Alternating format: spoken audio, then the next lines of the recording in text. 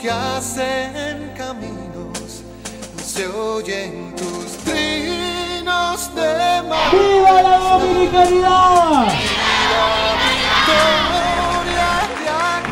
Duarte, eres digno de admirar, porque la falta de libertad no la soportaste y al país le diste la independencia que siempre soñaste.